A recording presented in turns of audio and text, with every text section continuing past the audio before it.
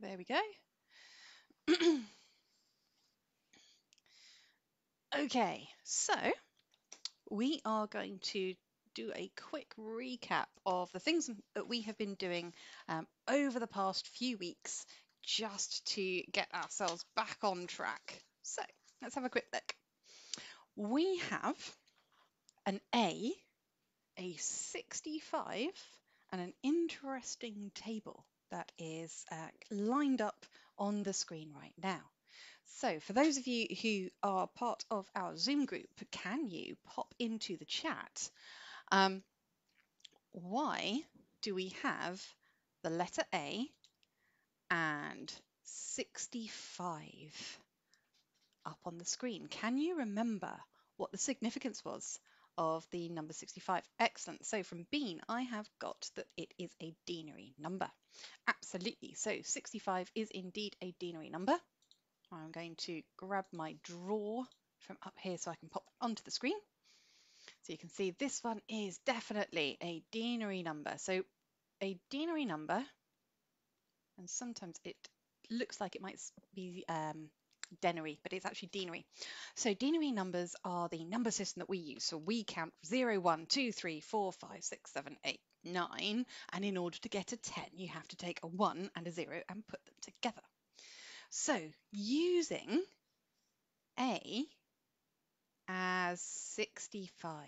Do we remember what the character set was called? And you can pop this into the chat. So if you are chatting, um, you can do this to everybody or you can do this privately to me. And that's for the Zoom chat. Um, so on here, what number or what character set were we using that gave the number 65 to the letter a. See if you can remember what it's called.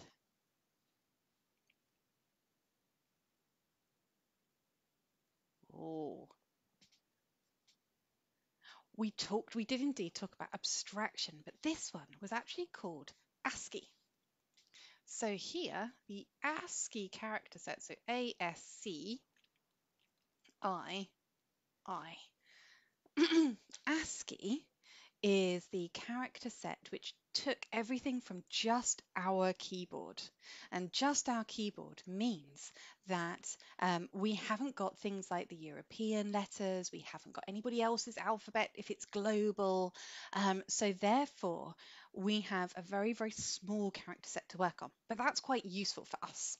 And today you are going to require pen, paper, and some colouring pens. So last time we looked at how we could take letters and numbers and put them into a digital version on our computer. And the way that our computer thinks uses a very specific uh, excuse me, it uses a very specific type of um, number set. So we talk about our number system being denary, but what does a computer use? Can you pop that into the chat. Hey, Mr. Strange in our Zoom group said binary. Absolutely. So we need to use binary in order to put these into our computer. That's ones and zeros because it literally relates to on and off. So what we are going to do is we're going to do a little bit of a recap of how to change our 65 into binary. So here we can't put 128 into 65, so we're going to put a 0. We can put 64 into 65, so we're going to put a 1. And then we take 65 and we minus 64, which leaves us with 1. Now at this point, what we can do is we can work out, well, we're now working with the number 1 because we've used 64 from our columns. So therefore we're going to take 32. We can't put 32 into 1, so that's a 0. Same for 16. Can't put 8 into 1. Can't put 4 into 1. Can't put 2 into 1. But we can put 1 into 1. So we put that there. 1 minus 1 equals 0. Now if we end up at the end with a 0, that means we've probably got it right. So this is binary. Now, when we then want to turn that into uh, something even more, we want to maybe turn that into a picture, we don't actually use binary for our pictures. Ultimately, when it goes all the way down um, and it goes into our um, into our computers, it will turn into binary. But if we want to create a picture, we have to use a third number system. And that third number system is called hexadecimal.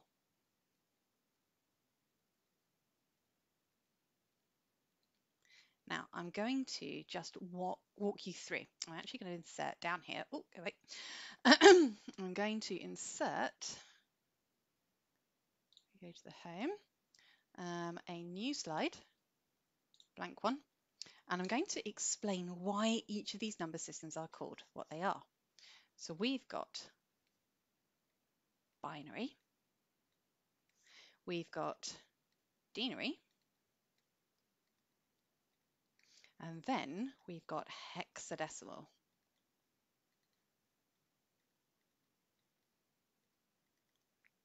So if I was just to take, if I go back to my drawer, let's grab a slightly, in fact, let's take a rainbow pen.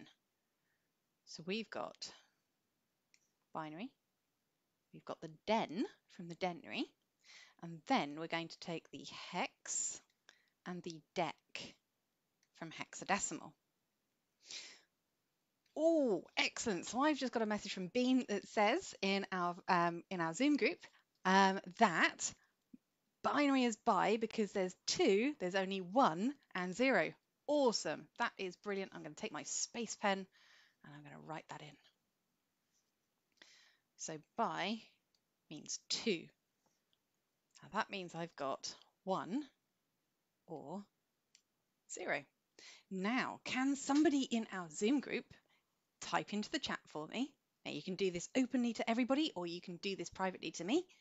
What do you think the den stands for? Now this is a little bit to do with Latin. So den and dec technically mean the same thing. Mr. Strange, you are absolutely correct. It is 10. So 10 for denary or denary. Now that's because we have 0, 1, 2, 3, 4, 5, 6, 7, 8, and 9. So we have 10 separate digits in the denary number system.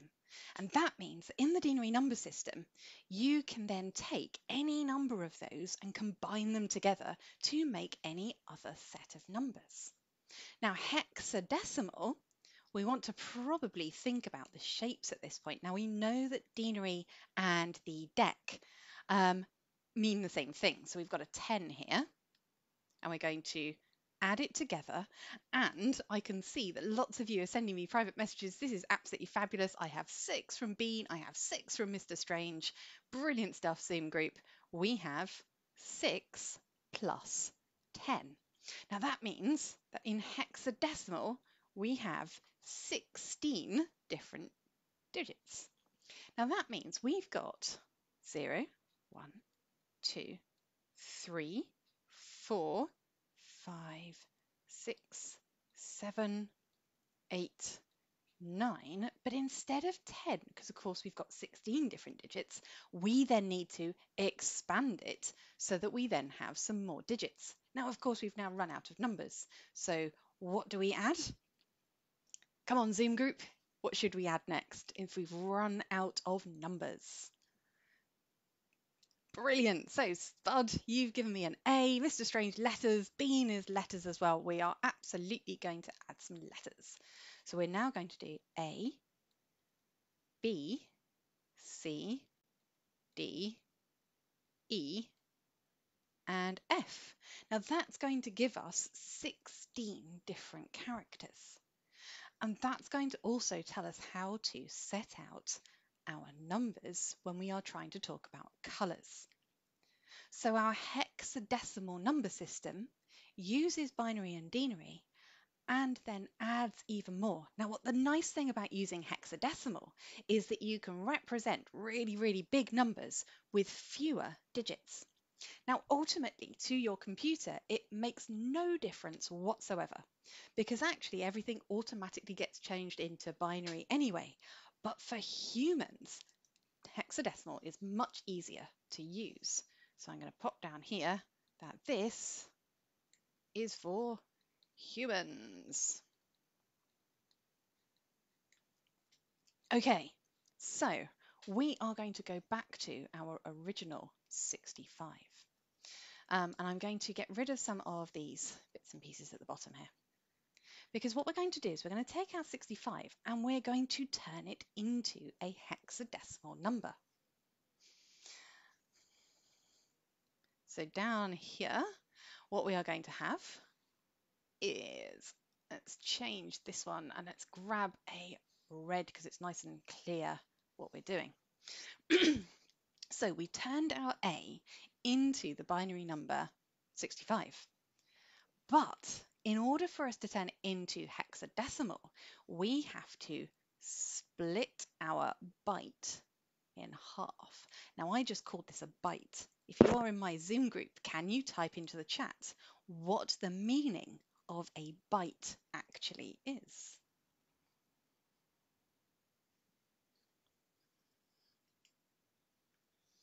testing your knowledge here.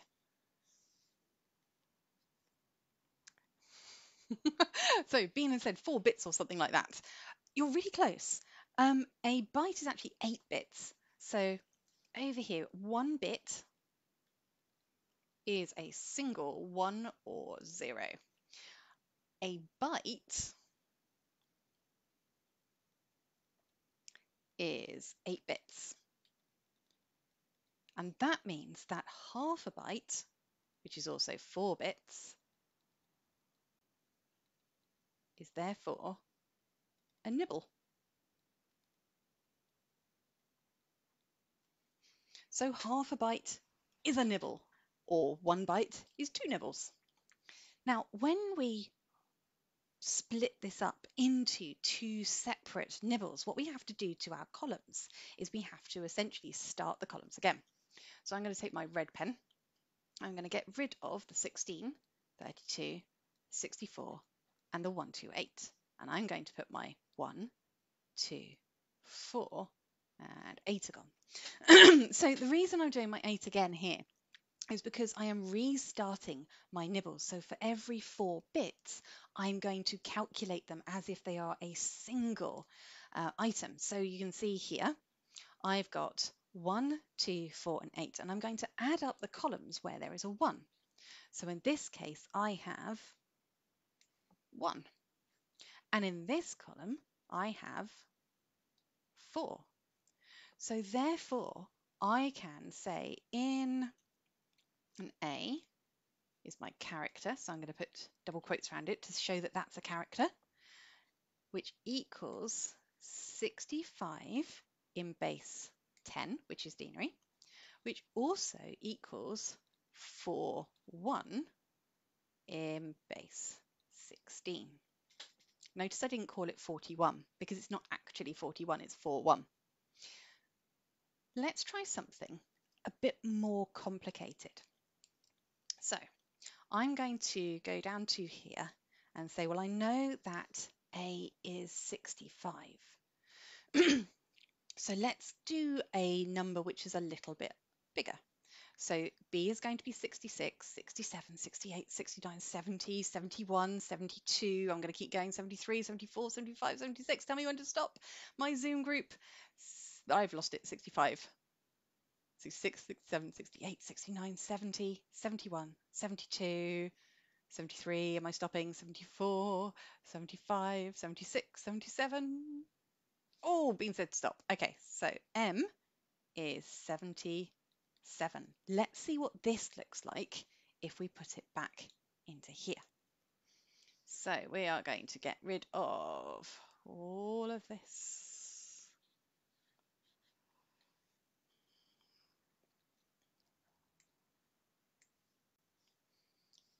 So we want to do M, so we want to draw which is 77 7. Now this is slightly different because if we were going to have um, 77, it's not 64 plus 1 because that's 65. So let's have a think back. We're nearly there. So at the moment we're doing 77. So 77 minus 64. Okay, what do we have left?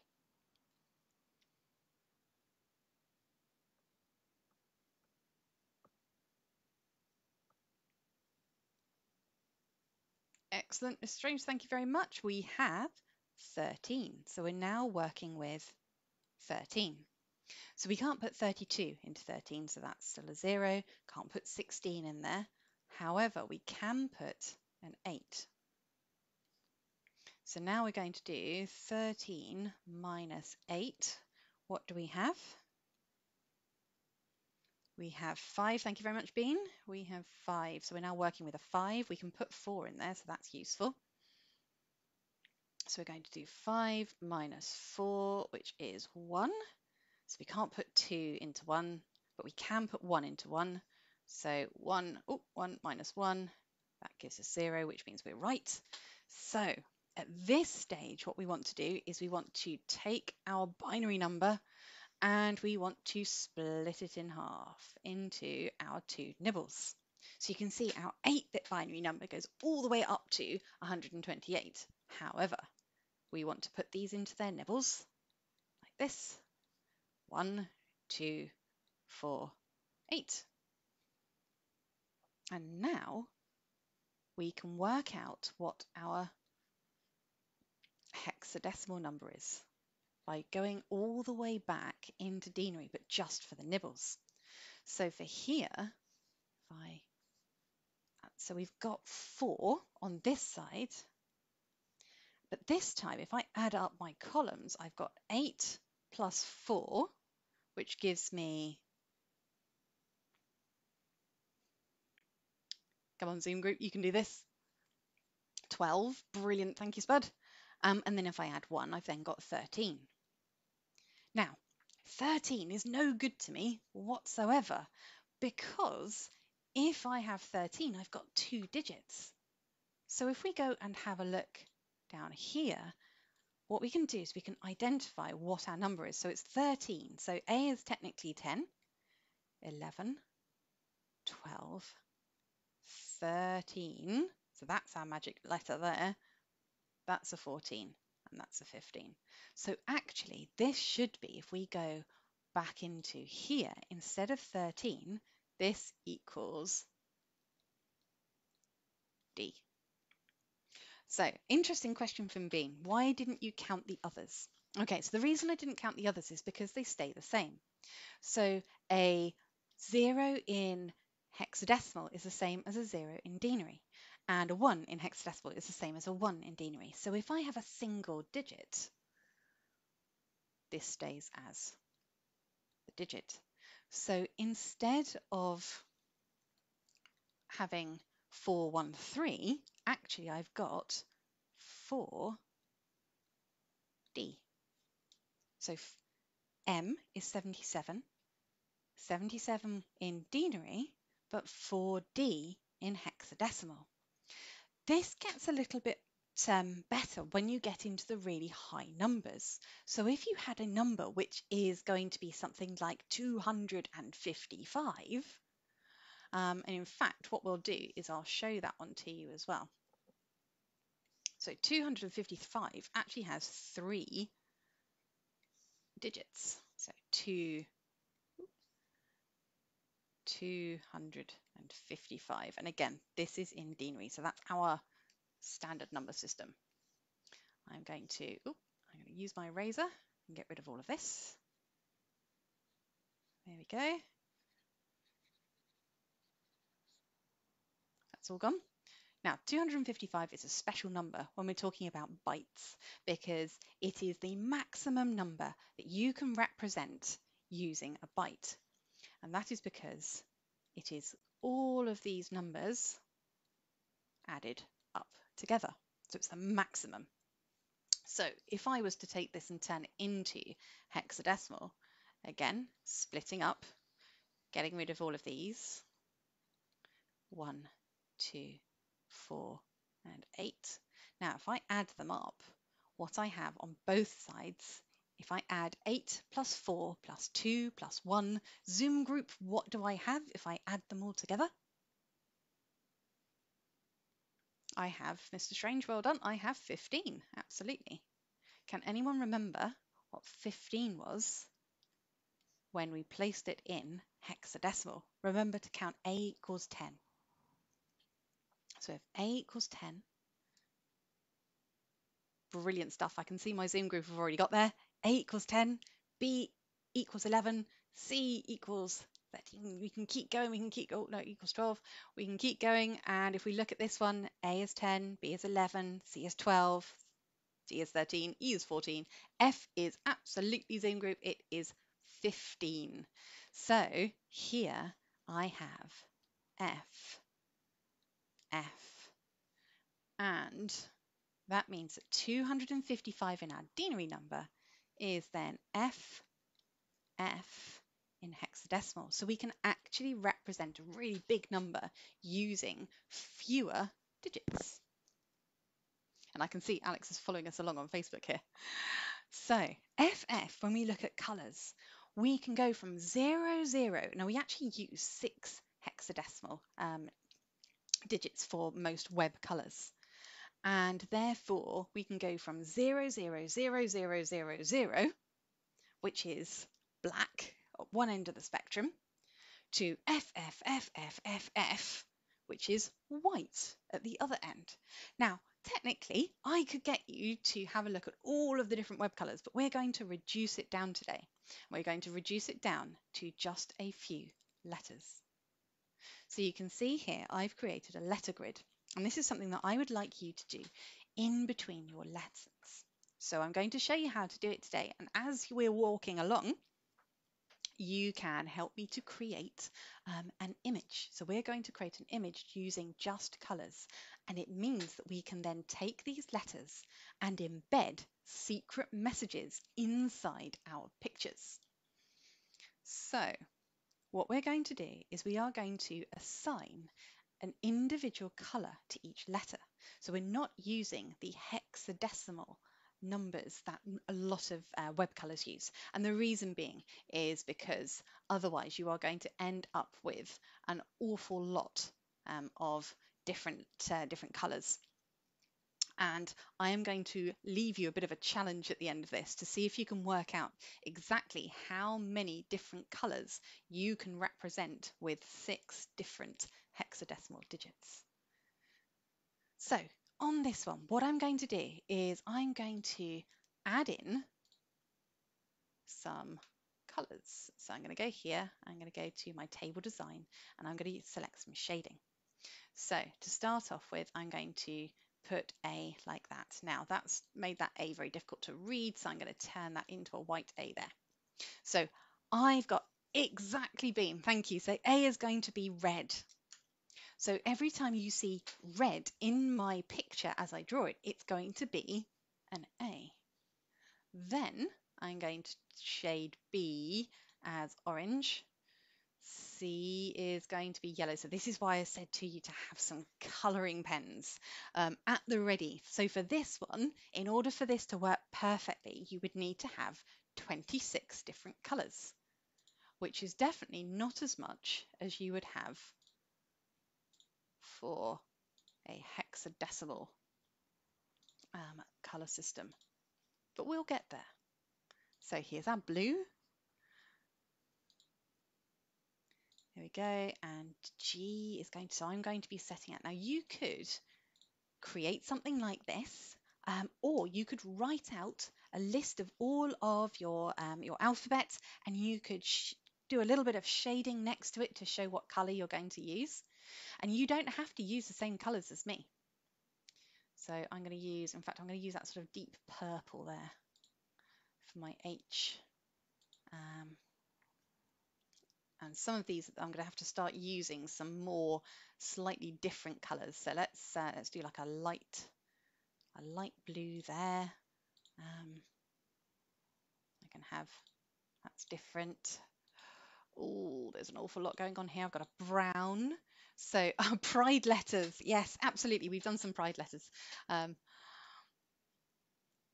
I'm going to do a slightly different sort of like a beigey colour. We want to have them different enough so that we can tell the difference between each of the colours. So when we put in our secret message, you can tell definitely which one is which. So something here we don't have, so we don't have like a really, really light green, um, but they definitely have to be different enough. Now I seem to have run out of basic ones, so what I'm going to do is I'm going to use more fill colours. And I can put these over here. So we don't have a super bright pink. Um, we don't have, let's go to more fill colours again, um, a super pale yellow. Oh, now those two are quite close together. So I think we're probably just about okay with those ones. But you can see here what we're trying to do is we are trying to grab in some different colours so we can definitely tell the letters apart. And then what we're going to do is we're going to develop a picture which is going to be able to spell initially our names. So at this stage, I can see people are, are picking out what I'm trying to do here, and you are absolutely correct. So I'm going to have a, a li nice lilac here. Um, let's do some more blues, shall we? Um, that's pretty much all this. I might do a grey actually, because I haven't got a grey. And I'm starting to run out a little bit at this stage. So you can see this, this gets really, really tough. Um,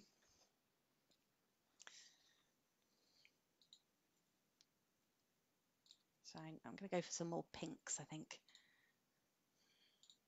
That's definitely different. That's a super, super bright pink.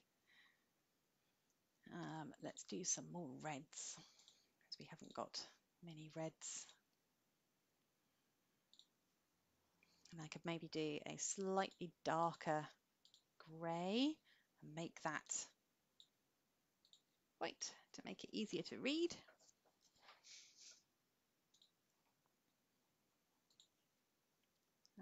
let's do some more oranges, shall we? So we've got like a, a mid orange, but I can't see any really super bright oranges. So let's, oh, that's far too close. So you can see there, I could put a B in and I could read that. And unless I was actually using a color picker, um, so a special um, type of color picker, which essentially gives you the hexadecimal code, um, it would be very difficult for me as a human to actually tell those apart, even though they are very, very slightly different. Um, so we want to make sure that we have definitely got something which is showing us this one. So let's keep going.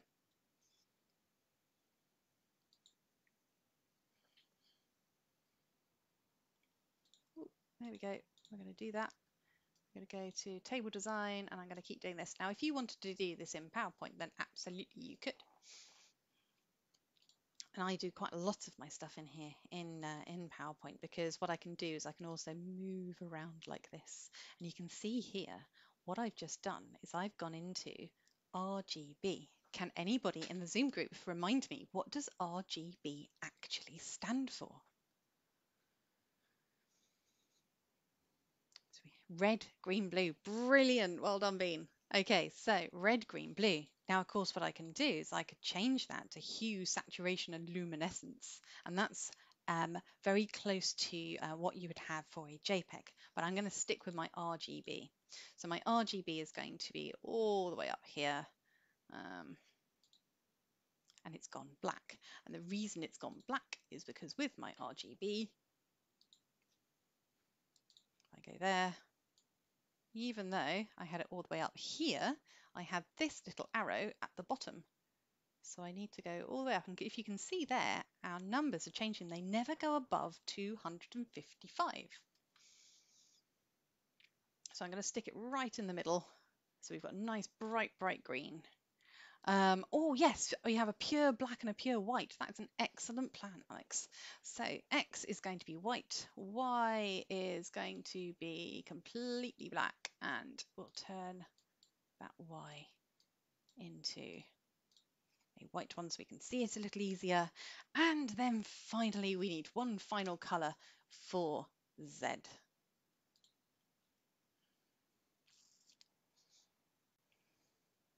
So let's go for more fill colors. Let's go for a custom color and oh, like a pastel yellows has been. Okay, so let's put ourselves over in the yellow like that. And then I think we've got we've got a pastel yellow for O. So I wonder if we could do sort of more of a let's do like a pillar box red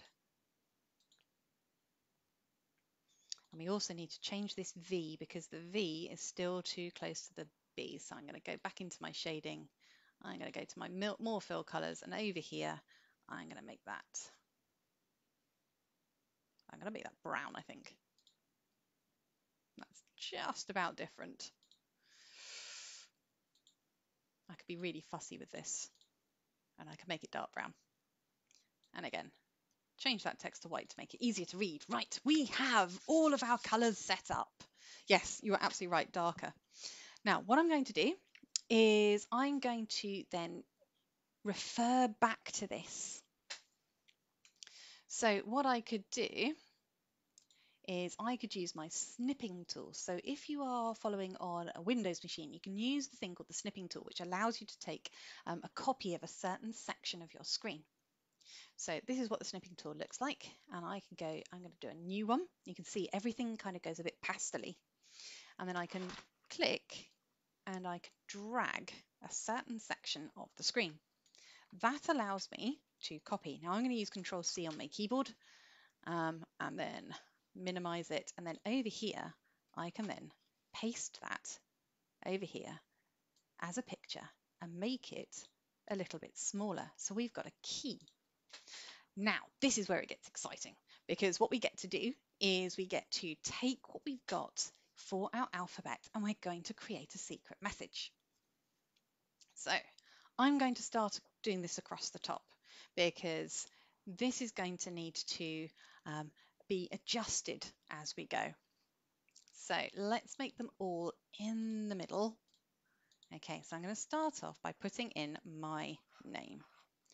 So I can do an H, O, an L, an L, and a Y. Now I might not necessarily want to put those letters in um, that particular order. I might decide to change them so that they are every third um, square.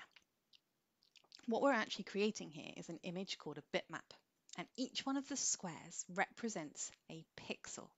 So those of you who are in my Zoom group, can you tell me in a bitmap, what is a pixel?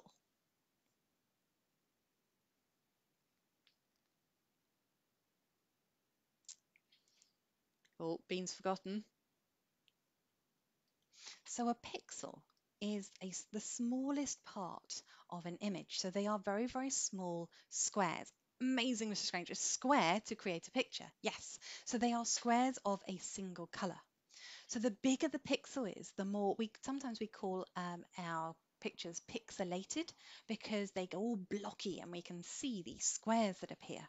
And each one of those squares is a single, um, a single color. The smaller they get, the more intricate and clear our pictures become. Now we're going to create something which is blocky because otherwise we would have to spend ages and ages actually watching this. So what we're going to do is initially I'm going to colour these squares to match our alphabet. So if I wanted to encode my name into my new bitmap, I would start off taking this first square, and you can do this too. Make sure you've got your pen and paper, create yourself a grid, write in, in pencil so that you can hide it, your name, and then start to colour them the right colors as you go. So here I can have a look. So I've got purple to start off here. I'm going to go to my table design and you'll see here, because I've been using PowerPoint, I've got all of the recent colors as well. So that one's going to go purple. And then my O is a nice sort of yellowy, pale yellow shade.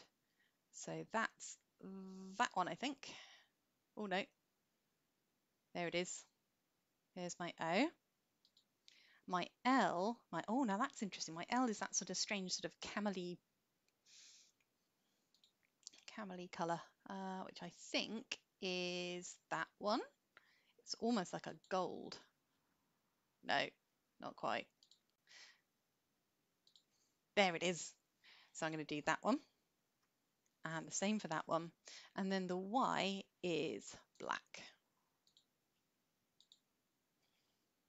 So at this point, what I can now do is I can now take this and I can place it slightly further out so that my name, where I've encoded it, then starts to create a picture. Or what I could do is I could perhaps leave my message across the top there. So I'm going to take away the letters because they've now been encoded as colours. Now, if you've written your message really, really lightly across, it means now you can rub that message out because you've now got the colours to represent them. So there is my message, and I might want to uh, say insert a text box down here and this might be like a secret message um, and as they get past the picture um, they get told look for the first five letters. So this is the most basic way of creating your secret message. So the first five letters are the message, and then I might decide that actually this um, this is going to create um, a nice little pattern. So in here, my table design might actually be uh, that I'm going to do this. Um, now this actually doesn't make any difference. It doesn't actually mean anything because the secret message is actually just hidden here. And then I might decide that that one is there. So what I'm doing at this point is I'm just creating what looks like a picture. So this side, let's have a look. How many have we got? So I could have another black one there. Two more camel here a nice simple one there and another purple there. And then of course I could might go the other way and do this. And you can see there, what I'm doing is I'm creating a bitmap that then looks a little bit like it used to be, or, or in fact is meant to be, um, something which is, I've realized I've done that wrong. That should be a white one. So in this one, it looks like it's meant to just be a picture, when in actual fact, what we've done is we have encoded a secret message. So here I might put that one there. I might decide that I've got two there.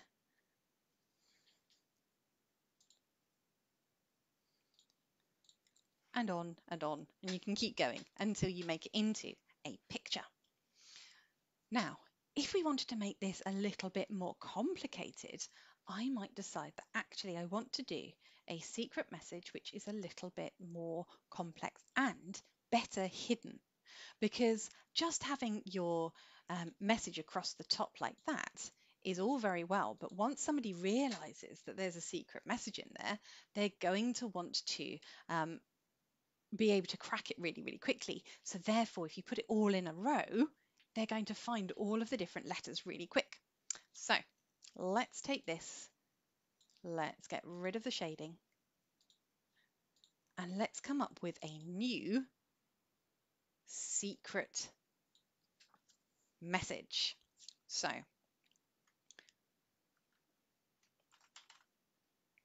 I'm going to say, look at every even pixel. Okay, so I'm now going to get. Oh, Bean, who is in our Zoom group, I am going to get you to send me a message for us to encode. Now, I'd like you to send it to me privately in the Zoom chat. And everyone else, I'd like you to see if you can, see if you can crack our secret message. So Bean is going to come up with um, a new message.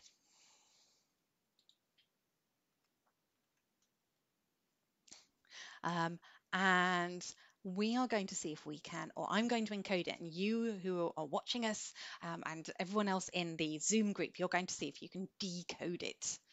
So,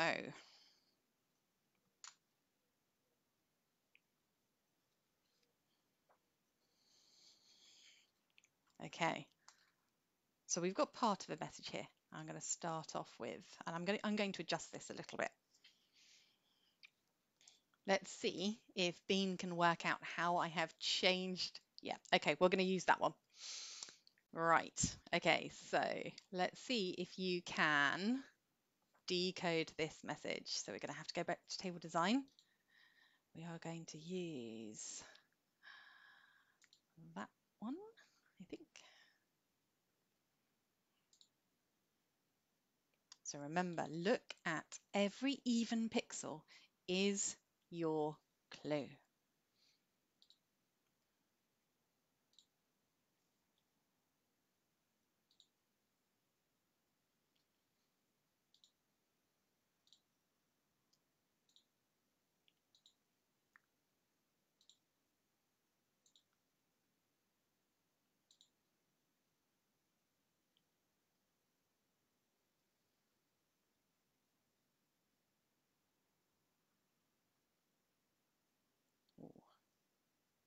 Go to more fill colors for this one.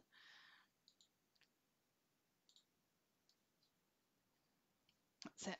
So see if you can work out what we are encoding using the clue.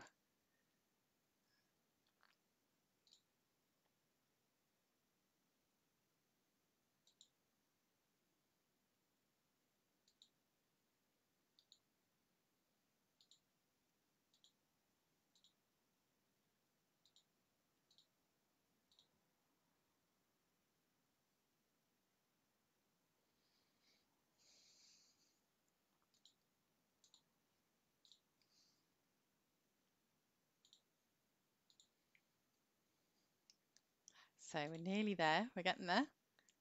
We're going to have to, oh, I'm going to have to find a, my more fill colours again to uh, to get to this one. It's not quite there, it is. Is that it? I think that's a little bit darker on the on the real thing. Oh no. That one. There we go. This is actually a little bit harder than I thought it would be.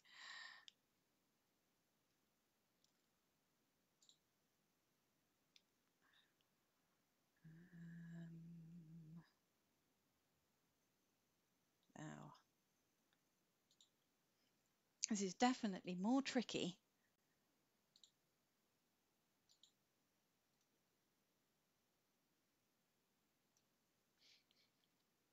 I think I know how. Ah, no.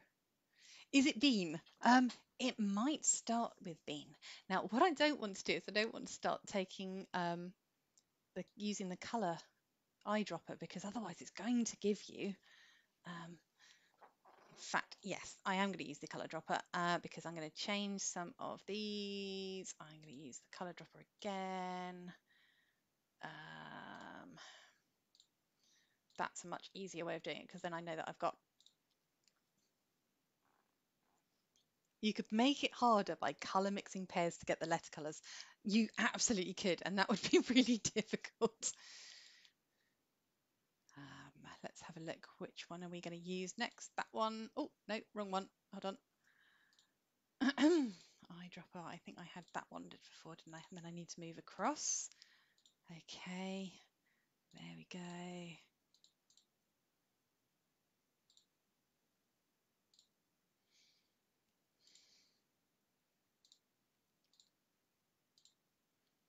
use another colour drop of one of these. And I'd just like to point out that I didn't write this message.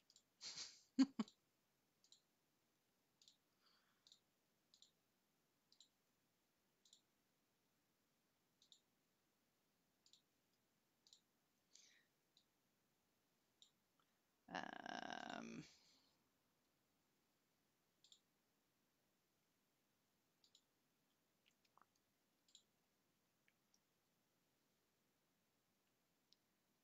uh, we're nearly there.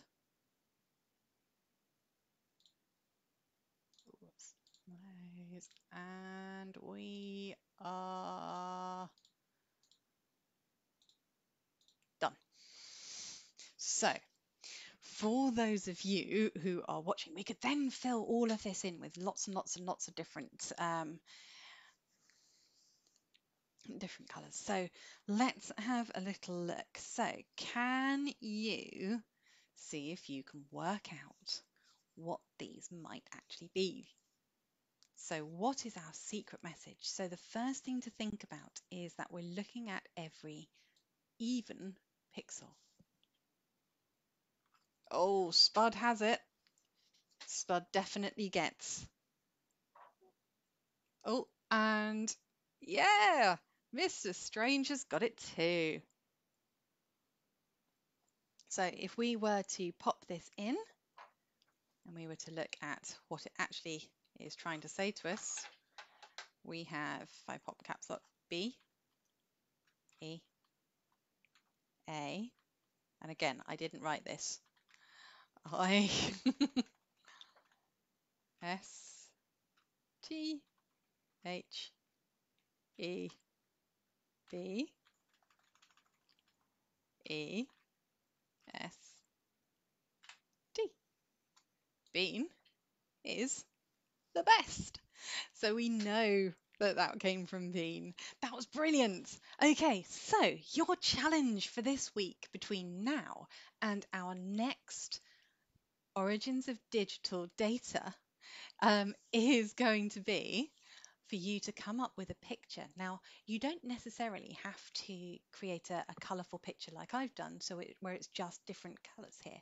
You could make it even better by turning your picture into something that actually looks like a picture made out of squares, but has an embedded secret message in it. So what I'd like you to do is to, you can use PowerPoint, you could use Paint, you could use pen and paper. It really doesn't matter as long as you have a key, which is what we have up here, which is our color key, and then a clue so that we can work out which pixels to look at, and then finally a picture for us to encode the message in. So have fun this week. See if you can create your secret messages. Send me your photos so I can pop them up on the gallery. And I will see you um, tomorrow at 1.30 for our free PowerPoint lesson where we're going to be creating animated GIFs. Um, and then Thursday is our next interactive Zoom lesson. Um, and um, that Zoom lesson is going to be programming this week, and we're going to be using uh, Python Turtle, but it's going to be embedded into the website, so you're going to be able to use it directly on there. And um, also on Tuesday, for people who are wanting to look at the A level, um, we also have the Stepping Up to A level. There will be some step up to GCSE ones coming soon as well. But for now, thank you very much for coming into the lesson. Thank you for watching if you've been watching on the live stream, and I will see you later on in the week.